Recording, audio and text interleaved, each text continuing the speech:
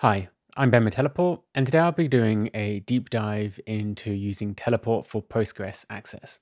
This video is going to focus on using AWS Postgres Aurora, but the same can be applied for self-hosted um, databases. So why would you use database access? There's a few things you can do with database access. You can retrieve short-lived certificates using a single sign-on flow. So all of the users in your organization don't have to have provisioned IDs, and if people come and go, they will automatically get a new short-lived certificate for logging in. Also, everything is audited, so you know which user is using which database role, which is pretty common because you may only have a few roles in your database, but you might have a very large organization. And lastly, you can also use our access request feature if you're looking to do role escalation. An example could be you have a team which has read access, they may need to access certain tables. You want to make sure that other teammates will verify that they are um, meant to and can have access to those um, tables. So there's a video here. I'm going to go straight to the uh, AWS for Aurora. Here we have um, our docs on how you set this up. I'm going to just give you a quick high level overview of what this will look like before I dive too deep. So here we have um, Teleport deployed within AWS Cloud. I've combined our auth and proxy service into sort of one box here, but you can separate this, use DynamoDB, provide a backend. I'm going through a GitHub auth, um, so this is my flow. And then to the right here, you can see that we have a VPC, which isn't necessarily required, but often you will have your um, database in a sort of subnet which doesn't have public internet access. And for that reason, we have a DB service which dials back to the teleport auth and proxy, which will be proxying all of the connections.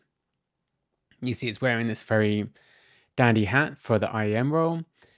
This is specific to AWS, and this can trip you up in a few ways uh, about getting it set up correctly. But this IAM role is needed because Teleport will need to talk to um, the RDS database with a special IAM role property. And I'll uh, dive into this a bit more. And then, of course, we have the RDS database. We're using Aurora. Teleport only supports dedicated provisioned. It doesn't currently support serverless. Let's uh, dive in. Okay, so before we dive into the setup, I'm going to show you what it looks like once it's complete. Here I have three databases. We're going to focus on the Postgres database. We have this connect button here. This connect button provides you command line instructions. You can't actually connect in the um, UI. So let me get my terminal. So I am uh, currently logged in already do my um, Acme demo cluster and I have a few roles and rules. You can see I have one, one database and you can use uh, uh, tsh db ls to see the databases. One thing that you need to do is you need to log into the database. Modify this. Okay, so we do uh, ls again. Make this a bit smaller. And then you can see I'm already logged into the Aurora, but let's just do this again. Uh, db login Aurora and it says the connection information has been saved. You can now access the database using the following commands. So I already have psql installed. And you can see I've already done this. So we're connecting to a service name. You see here it's Acme demo, which is the name of my teleport cluster. And then this is the name of the database. This also lets you connect to multiple databases at one time, um, which is a handy feature. I have a user Alice, which is different than my teleport user. This is a user that is currently created in the RDS database, and I have my database name, which is my testdb. So you can see I'm logged in. And one thing you can see here is we have, you know, a few users in here. Teleport was the user that I created at the beginning, which is the RDS super user. But I've also created this Alice user, which has um, RDS IAM properties. Okay. So let me walk you through the steps. So first up, like I mentioned, you need to enable IAM authentication on the Aurora database. Let me show you what this looks like in um, AWS. So you can see here I have a MySQL and I have Postgres, going to the MySQL. Under this configuration, you want to make sure that this IAM DB authentication is enabled. I've used Terraform to configure this. I'll show you this afterwards. But if you're going through the UI to set this up, these are things to look out for. You can also see I connected to MyTestDB. This is the DB name that we created. And I have a master username and master password. These I've used with a Terraform provider to seed and create the initial user.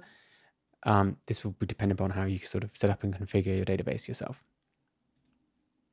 So next up, we have the IAM policy. So this IAM policy lets the database service log into the instance and then attach the credentials to that user. So this on here, this is a little different. Um, we have RDS DB, we have the region, the, uh, um, the account ID, the DB user, the DB cluster ID, and the DB username.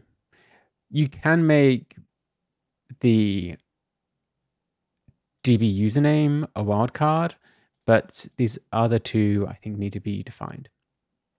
Also, just to note that this cluster ID is specific and it's different than another ARN. So this cluster ID is the resource ID referenced here.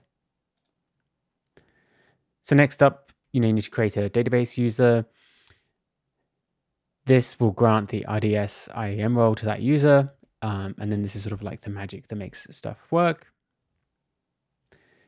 And then here in our example, we set up a brand new teleport service. Um, I'm going to skip through this. Um, it's creating roles. But next up, there is the database service. So the database service, this is this instance here, and I have actually added it to my cluster, so you can, um, I can show you what it looks like.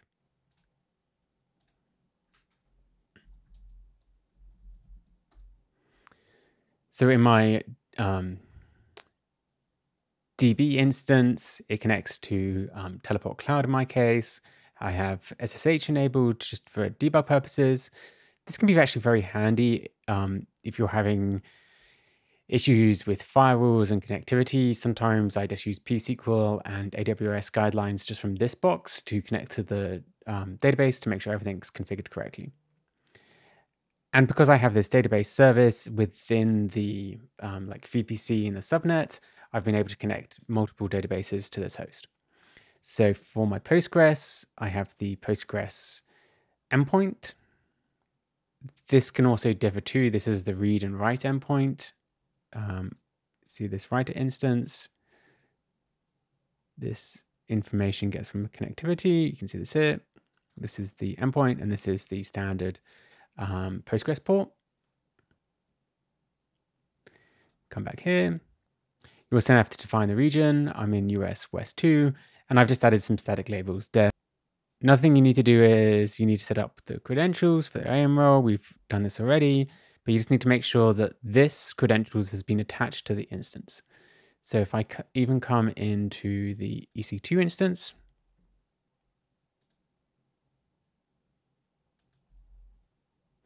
my DB Bastion, you can see that this host has a RDS role And then in this role, it has a few policies. So I have the RDS connect policy. You can see in here that it can connect to US West 2. This is my account ID. This is the DB user and then the cluster name. And then it's any user for that cluster it can access. And then last up, we have the connection, which we've already kind of go through, but we can just do this again. So let's come back to my terminal. So for this purpose, I'm just going to log out. And then I'm logging through GitHub. I've already sort of authenticated GitHub, so the flow is taking me back. So you can see database is missing here, so I need to log into the database. So log in Aurora.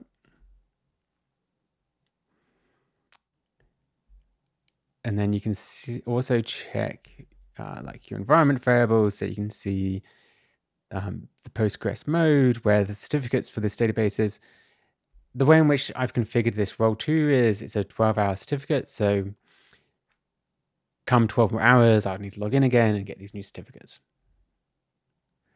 And then I can just use pSQL to connect as this Alice user and my test DB. And here we are. So we can see these tables and um, we're done. So like I said, everything is mostly recorded here. You can see that we've ran a few queries. We fully read all the executed queries. So like a slash du might come up different in the audit log here. But you can see it's um, my user is Ben Arendt, but my DB user is Alice and um, it's performed the actions. So let me show you what this looks like in my Terraform code. I would highly recommend using Terraform or CloudFormation to configure this. It makes it very easy off the bat. So you can see I have a um, RDS cluster, which I've created. My test DB, I have this master username. This is sort of the super user, which I have a Terraform provider, which will seed the user. You need to add cluster instances. I've just created a few small cluster instances to this host. Also for testing, I have um, I put these secrets into Secret Manager, um, which can be also handy for debugging. Here, I next up, I have a Postgres provider. This provider connects to the database using the username and password. And then the only thing it does is it just creates a user. So it creates a, the PG user Alice, and then I assign the role RDS uh, IAM, which is a very unique role. One thing, if you're not super experienced with Postgres, is that Postgres roles also means user, but users also have roles. So it can get a bit confusing. Next up, you can see I have IAM roles. And in my um, instance profile, which gets attached, I have this um, IAM role policy. And in this role policy, I've just used these variables to get the current account ID, the region, and then lastly, I'm calling in the um, AWS cluster resource ID. Here I've also done the same thing for MySQL and Redshift, but I'll skip over that.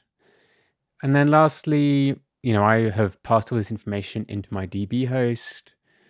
So if I come in here, you can see that I have, you know, passed in these environment variables, which is another handy way to configure it. This is my um, etc teleport.yaml file. In my case, I have a pretty strict VPC, so I've had to set up security groups for accessing various ports.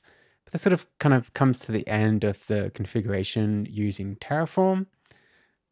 If you have any interest, you know, you can feel free to contact us on Slack and discussions. We're happy to um, help set up and configure.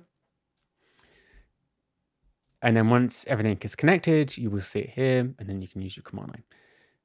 The other thing your teams might want to do is use um, a GUI. We support most major GUIs as long as they support SSH certificates. So I'm going to just um, try creating a new server here. So teleport demo. So the host address here, actually I have to come to my docs to figure out the GUI clients. So you select the name. All you need to do is, okay, so click the name. You leave it empty. Oh, and then the service here says root Aurora. In our case, this will be, this is the name of the service.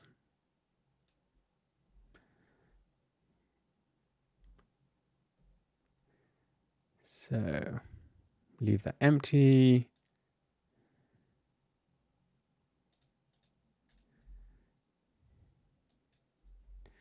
Add the service here. And then we need to make sure that the SSL is verify full. Now I may need to get these client certificates, but we can see if it will pre-populate it. Okay, it's thinking. Give this a second. get these root certificates and then add them in here. This is mainly, I think, because I'm on a Linux machine. I found that it was worked well on um, a Mac. Yeah, it's timed out. So let me just get all of these root CAs. Oh, let me change the user to Alice.